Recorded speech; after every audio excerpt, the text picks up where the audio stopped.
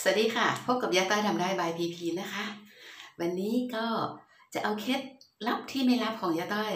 อีกเรื่องหนึ่งมาให้น้องๆ พี่ๆเพื่อนๆ ได้ได้รู้นะคะว่าหลายคนถามว่ายาต้อยดูแลผิวพรรณโดยเฉพาะหน้ายังไง มันก็เป็นอีกตัวหนึ่งที่ยาต้อยจะใช้นะคะเพื่อที่จะเป็นการขัดขี้ไขหน้า หรือเป็นการกระตุ้นให้เลือดหมุนเวียนนะคะ ในบริเวณใบหน้า ไม่ได้ใช้บ่อยค่ะ ตอนนี้นานๆจะใช้ทีมาดูค่ะว่าจะได้ทำไง ถอดก่อนนะคะ ถอดแล้วไม่ค่อยเห็นนะคะ เอ่อขออนุญาตว่าไม่บอกว่าใช้อะไรนะคะ แต่ก็ให้เห็นคร่าวๆว่าทำยังไงนะคะ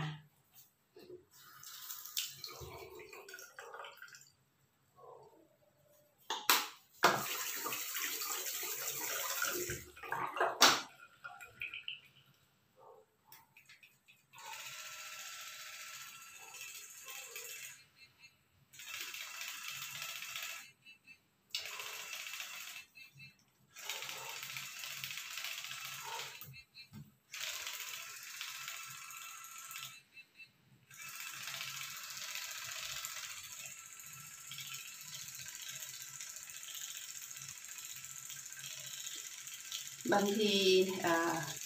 เวลาแต่งหน้า หลังจากเช็ดเครื่องสำอางออกแล้วบางทีมันก็ไม่สะอาดอะนะคะเยต้ก็จะใช้อุปกรณ์ช่วยค่ะ เพื่อที่จะให้การขัดผิวหน้าได้ เกลี้ยงขึ้นนะคะ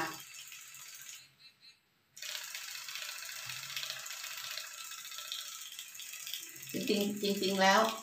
เครื่องเนี่ยไม่ว่าเราจะใช้ยี่ห้ออะไรก็ตาม มันจะมีสเต็ปของมันอยู่แล้วนะคะแต่ยาตอนนี้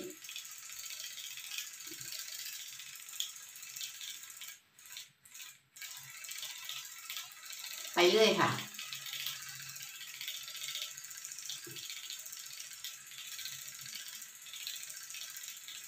ไม่ว่าเราจะใช้อุปกรณ์อะไรก็ตามนะคะ ให้อยู่บน พื้นฐานของออความเป็นจริงว่า อย่าใช้มากเกินไป อย่าใช้บ่อยเกินไปนะคะ มันก็มีผลเท่านั้นแหละคะ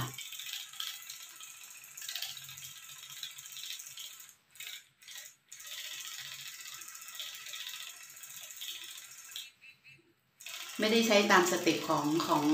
เครื่องเขาหรอกนะคะ แต่ให้ให้ดู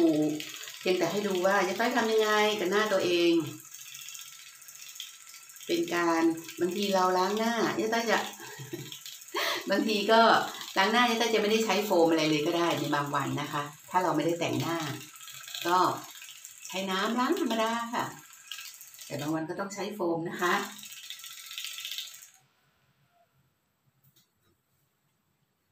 แค่นี้ค่ะ ไม่มากเกินไปไม่น้อยเกินไปนะคะ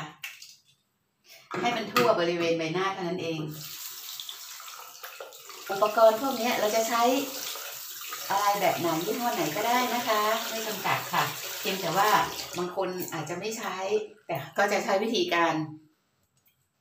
นวดนะคะนวดบ่อยๆนวดก็นวดให้ถูกวิธีเนาะมันก็นะกระตุ้นให้เลือดหมุนเวียนได้อย่างอย่างดีนะคะ แล้วก็อีกอย่างหนึ่งมันก็ ช่วยให้ผิวพรรณถูกกระตุ้นบ่อยๆค่ะ มันจะ ดีขึ้นนะคะ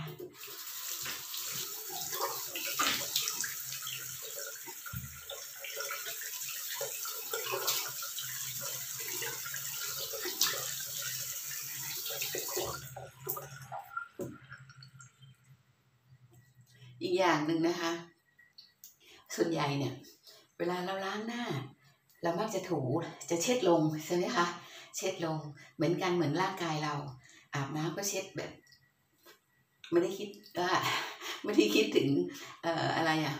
มันจะหย่อนมันจะคล้อยหรืออะไร แต่โดยเฉพาะหน้าค่ะสาวๆค่ะ ล้างหน้านะคะ แล้วตรงนี้ค่ะ ทุกเช้าทุกเย็นเราทำได้ จะช่วยตรงนี้ด้วยนะคะ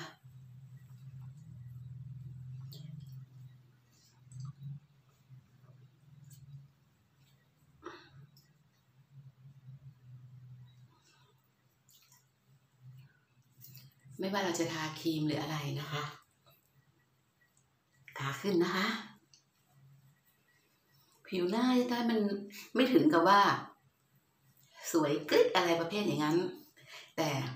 เราทำบ่อยๆ เพื่อที่ผู้หญิงเนาะอย่าหยุดสวยค่ะทำยังไงก็ได้ ที่ทำให้เราดูดี ไม่ต้องไปลงทุนอะไรมากมาย ไม่ต้องไป ไม่ต้องบินไปเกาหลีเนาะเนี่ยค่ะ จากการที่ว่าถ้าขยันนะคะ ช่วงไหนถ้าจะต้องขยันเนี่ยค่ะ มันจะรู้เลยว่าโอเคมันได้ผลเยอะมากๆ แต่หลังๆนี่จะได้ขี้เกียจนะคะ ไม่ค่อยได้ทำแต่ว่าเวลาทาคงทาครีมเนี่ยค่ะยต้าก็จะทำอย่างนี้ยค่ะจนกระทั่งครีมมันซึมเข้าไปข้างในนะคะ ตรงนี้เราก็พยายามนะเวลาทาครีมอะค่ะ ช้าๆ แล้วก็ไปนะคะยาต้อยนี่เป็นคนใจร้อนนะคะ ทุกอย่างเนี่ยค่ะรูปขึ้นค่ะรูปขึ้นค่ะเดี๋ยวสังเกตนะคะ ถ้าใครเข้าไปแอบส่องแอบมองคนที่เขาไปยกหน้าค่ะเขาจะมีเย็บทางข้างหลังนะคะ เพราะฉะนั้นเวลาเรารูดเนี่ยรูดไปข้างหลังเลยค่ะ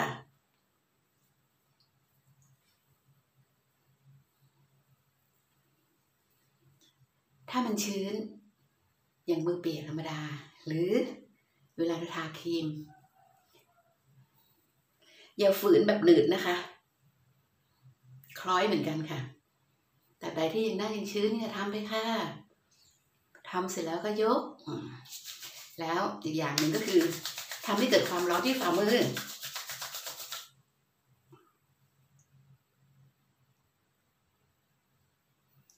หนึ่งสองสามสี่ห้าหกเจ็ดแปดเก้าสิบ นะคะ ค่อยๆนับไปอย่างเงี้ยค่ะทำอย่างเงี้ยเราก็จะเห็นเองเนาะเวลาเราทำแบบนี้ให้มันตึงเนี่ย หน้าก็จะเด็กนะคะเนี่ยค่ะสิบถึงยี่สิบครั้งนะคะ เกิดความร้อนค่ะ เป็นการกระตุ้นนะคะ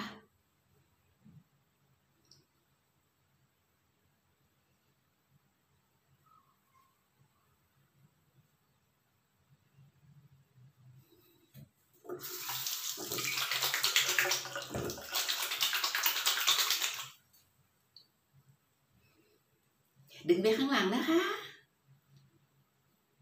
ขอตึงค่ะ ตรงเหนียงให้ด้วยนะคะ ให้ไปข้างหลังเลยค่ะ ตึงไว้นับนะคะหนึ่งถึงสิบหนึ่งถึงยี่สิบก็ได้ เพราะความร้อนจากฝ่ามือของเราจะไปจะไปกระตุ้นนะคะ ธรรมดา ธรรมดา ตามสไตล์ของยาต้อยเองนะคะ อะ หล่นไปละ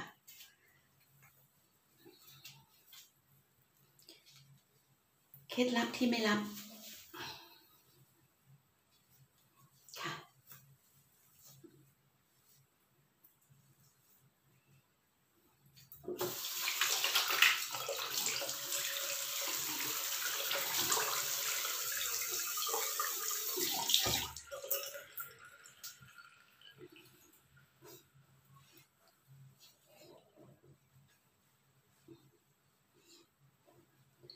ซับๆก็พอนะคะ ไม่ต้องรูด บางคนนี่อาจจะเกิดความรู้สึกว่าเอ้ยมันไม่สะอาดใช่ไหมถ้าไม่รูดเหมือนตามปกติที่เคยทำใช้พวกเนี่ยค่ะผ้า ที่มีคุณสมบัติของการซับน้ำค่ะค่ะสำหรับวันนี้เคล็ดลับที่ไม่ลับของยาต้อยฝากน้องๆนะคะ พี่ๆเพื่อนๆ ที่ไม่ค่อยได้รู้ดูแลผิวพรรณตัวเองลองดูนะคะ ค่ะ สบายสบายสไตล์ยาต้อยค่ะสำหรับวันนี้ลาไปก่อนอย่าลืม กดไลค์ กดแชร์ กดติดตาม กดกระดิ่งให้ยาต้อยด้วย พบกันคลิปหน้าค่ะ